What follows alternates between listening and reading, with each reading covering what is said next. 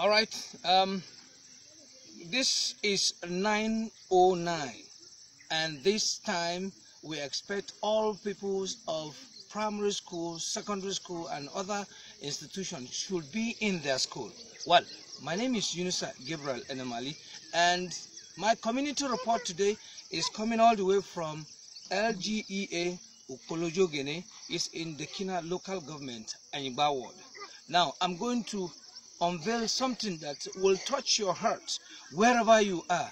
And the reason why we're doing this, we need to bring you up to speed to understand what is happening. Now, come with me. Now, this is primary one. As I speak with you, it is combined with primary one and two because their, their little hut where they stay has primary two has been fallen down by a breeze. Look at it there. Now, come back. Now you can see these are the leaders of tomorrow. Well, according to them, move closer, let them see their faces. These are supposed to be the leaders of tomorrow. In this community, there is nothing like infrastructure here. No social amenities at all. Now, it is so pathetic. Look at their board. This is their board. Now, I move with him. He comes with me. Come with me. Come with me. Now, this is supposed to be class two. But today, it's already down. Now, show me the camera. This is supposed to be class 2. This class 2 is now combined with class 1. And that is why you have a mixed class. Now, I, I, I am told that they have class 1 to 6.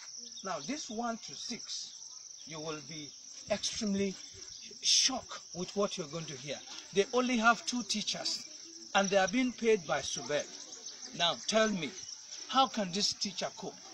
He has family, he has children, now, the salary being paid him is on the so-called percentage uh, uh, salary. Now, here is primary three. This primary three is also combined with primary four. Am I correct? Okay, this is just uh, primary three alone. You can see that. Now, tell me, what leader of tomorrow are you going to make out of these people? As far as they're concerned, nothing like computer that they would have ever seen in their life. Now, come with me. I'm going to show you. Now, as you come this way, this is the class, and this is class 4 and 5. All right, this is class 4 and class 5. Now, you can see the shanty where they stay, and they teach them. This is in Dekina local government, in Kogi State, in Nigeria. Now, I'm coming back to tell you what even um, the, the, Sustainable Development Goal says about education. Now, we need to begin to think very, very well, or else we're going to be in trouble. Now come with me again. This is class 6. Now I have this as class 6. Now tell me, some of them don't even come to school. Why would they come to school? They are not encouraged. The teachers are not encouraged. The parents are not encouraged. Now getting to this place, I had to use this Okada. It is not motorable. It is extremely so difficult.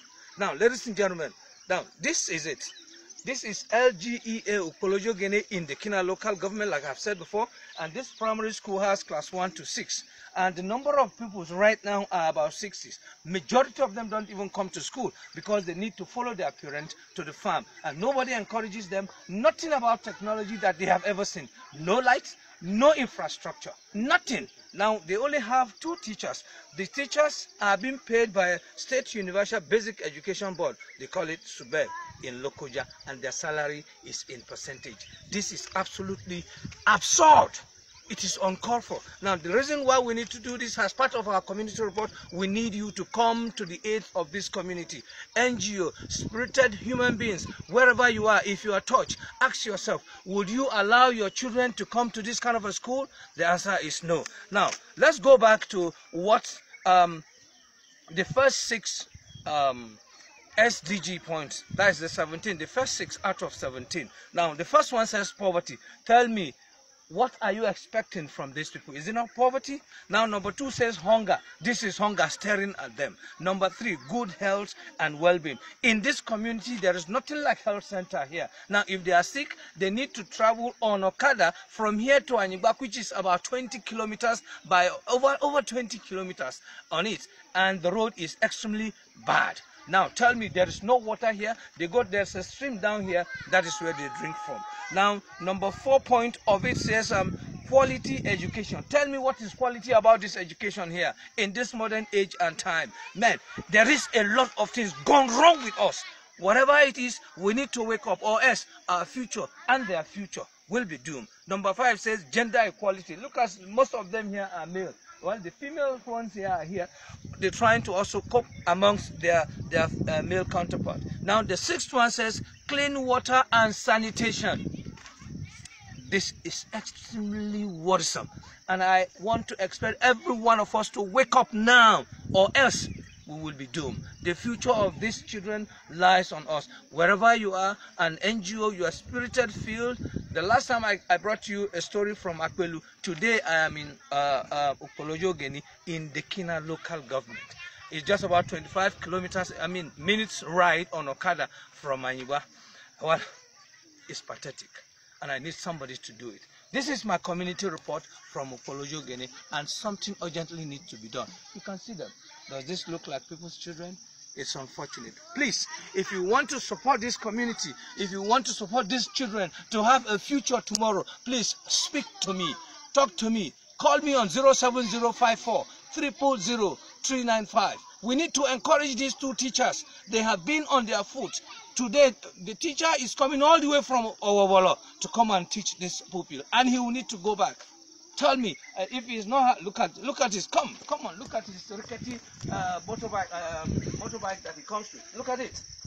There are two, and then that is the that is the second one. I think they deserve an encouragement. Please, if you are touched, encourage them. Look at it. And this is what he traveled. They travel with every day to coming to down, uh, coming down to this place to come and teach these children. So it's unfortunate that we still found ourselves in this modern age and time, and we call ourselves the giant of Africa. If we don't do something now, our future is doomed. Well, let me get out of this place till I come your way again. My name remains Yunus Gabriel Enemali. Community report on your number one internet station, Igala Radio, live on Facebook. Thank you very much.